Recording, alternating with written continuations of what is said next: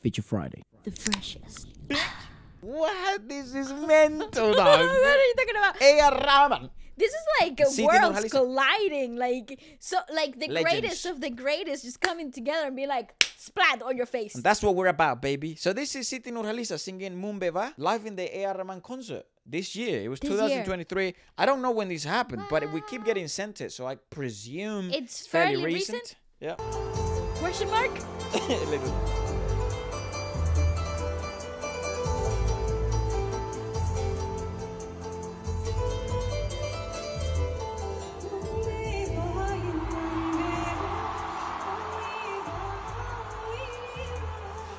I, swear to you, this woman can. There's nothing on this earth that this woman cannot do or sing. Again, this is not completely crazy to me though.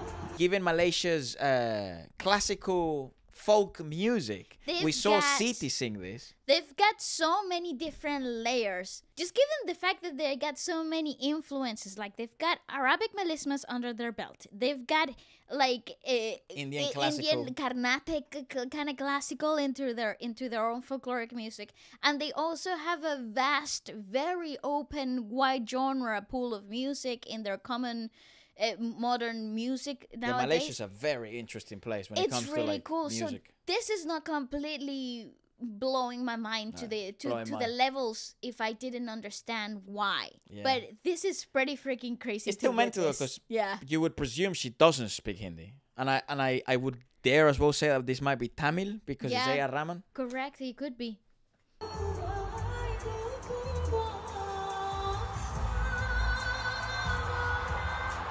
Listen to the people going mad.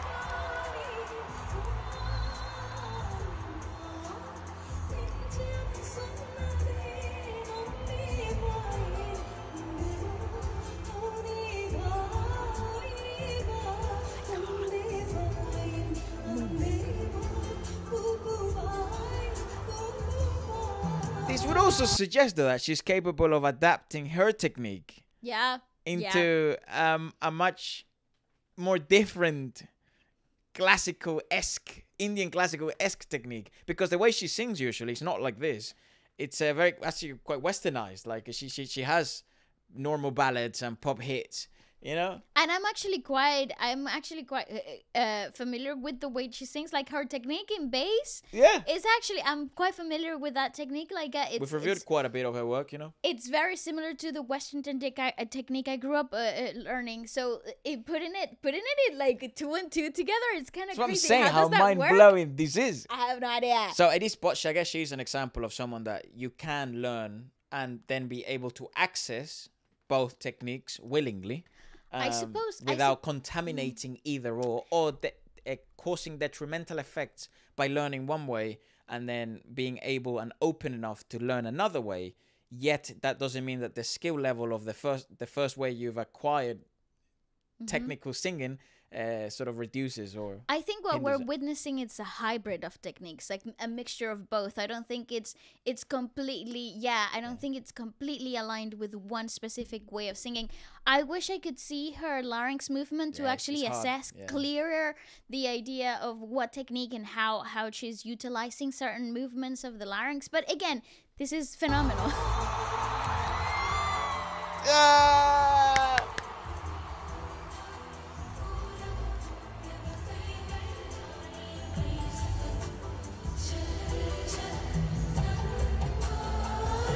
Shout out to AR's backing vocals. Oh, yeah, they're unreal as well. goddesses, goddesses. Yeah, goddesses.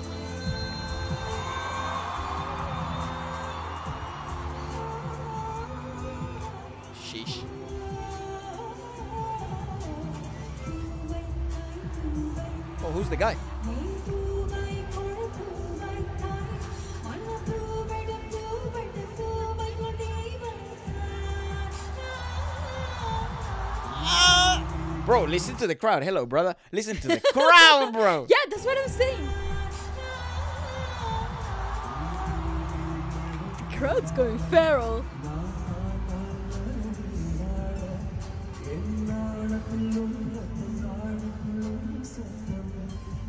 I don't recognize him.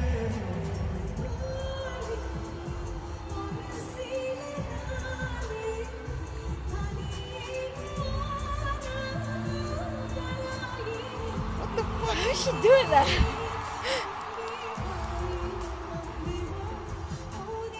I love that AR looks like a DJ, like a master. DJ. Well, he is like the David Foster It is of the Indian musical industry. of. Asia, I, would say. Yeah. I mean, the thing about I would love that David Foster and A.R. Rahman. Could you imagine? very, very different sort of approaches to music. But again, it's music at the end of the day. It would work, I the would best fusion album ever, though. Yeah, and even because David Foster, you know, he always does like David Foster and Friends, right? He does, yes. And he brings out everyone. He's brought out Siti before. He has, you yeah. know? In the, next time he brings AR, and then AR brings out someone else, and then that someone else brings out David Foster, and then they, and then it's the David Foster AR Rahman madness of the multiverse of madness.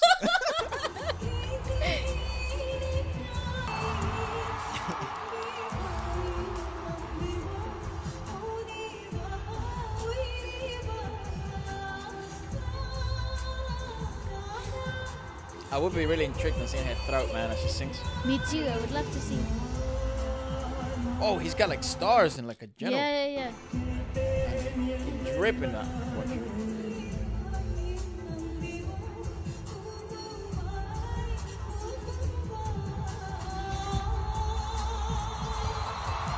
She can also be so full. Uh, She does. I, I think that's where it the.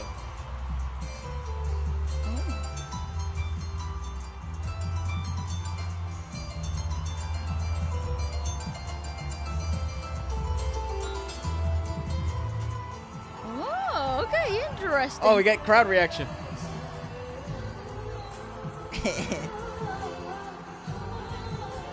That's sick. Wow, the whole Oh place my is god, it's fucking packed.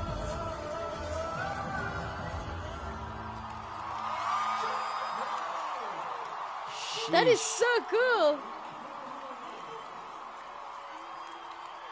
So she was like a special yeah, guest. Yeah, uh, totally. Where was this? Was this in Malaysia? Were I they don't in know, Malaysia? man. I, I, Where were they? it wouldn't surprise me if uh, it was in Malaysia. That's a great song, though. By the way, as well. Like it's, it keeps repeating in my mind.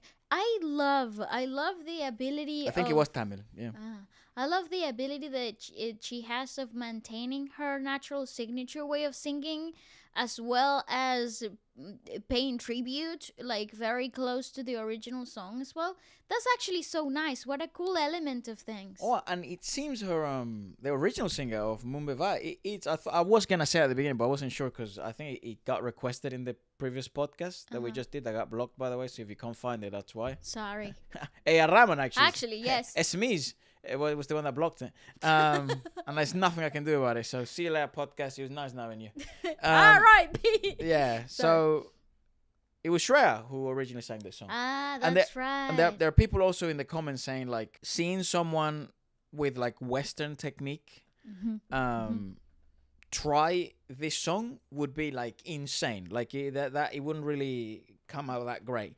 But then seeing someone from Malaysia and then especially someone like Siti Nurhaliza who also does a lot of classical in Malay um is more what would you say attainable technically for someone like that because they they do are they are more influenced and they are more exposed to influences of both melismas and then classical Indian I think I think the beauty of uh, Malaysian folkloric music is the gigantic pool of influences that they've got there. It actually is a bit of a cheat code uh, code if you think about it from like a, a singing perspective because you they're able to access individual uh, very strong influences from from uh, the Indian Carnatic uh, s- uh, sound, it included including it into like a more modernistic, more westernized way of singing, which is so freaking mental. Again, a hybrid. there are some people here saying like uh, she tried her best and it was all right. I and like he wasn't that impressive. The interesting thing about um this is the problem when like you have someone like Shreya do the original song, Oh, right? yeah. Then people are gonna compare it, Mm. but then that would be like Siti singing in Malay. So that would be like Shreya sing- singing in Malay, um, and a very and west. a folkloric. Yeah, and Yeah. I, even even a westernized song. Um, someone like Shreya wouldn't translate actually that well into Western pop.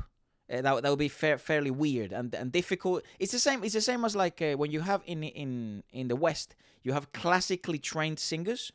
They do very poorly transition wise for a good while. It's not doesn't mean that they can't ever uh, transition, but at the beginning, it's very uncomfortable and awkward for them to do pop Yeah. because the translation between classical like uh, western singing into popular music it's it's a world away from difference. And the adapting process between the two genres is actually very difficult for the singer. And very little people manage to do it correctly. And i th- it, applies in both in both cases So when you put that into perspective, what Siti has done here is fucking special, bruv. It is. It is. You can't. You can't take away any credit from the ability of adapting to a new language, the ability of adapting to a new way of singing, uh, uh, kind of modifying your personal technique to pay homage to the original, Yeah. regardless of who the original class act. singer might be. That's yeah. that's that's top as it yeah, gets. yeah. Anyways, goodbye.